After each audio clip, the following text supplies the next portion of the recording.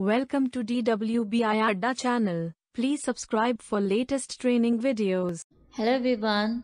In the previous video, you have learned how you can create a project using Watson Studio based on the option empty project.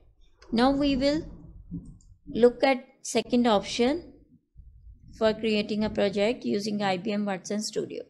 Again, we will click on the get started button, create a project. Choose this option, create a project from a sample or a file.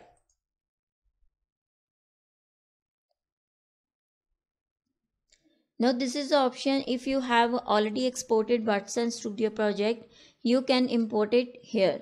But if you don't have, you can use the existing one from a sample file and I will choose this one, predict customer. When I have clicked on this, it automatically take its name and description. Again, this option is the same one. And then this is a storage space. We will just click on create button. Now it will initialize your project space.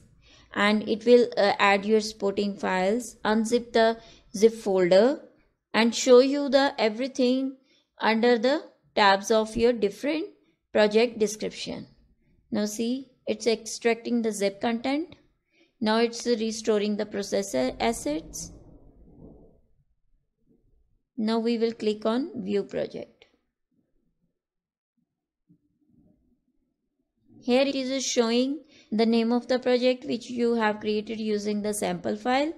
And again if we click on the asset button it is showing it has a three assets right? Two csv file and this is your notebook. And if we click on the environment tab it will let you know which environment it is like here again you can choose according to your requirement on then the jobs button, deployment, access control and settings. These are the same settings which we have learnt in the previous video.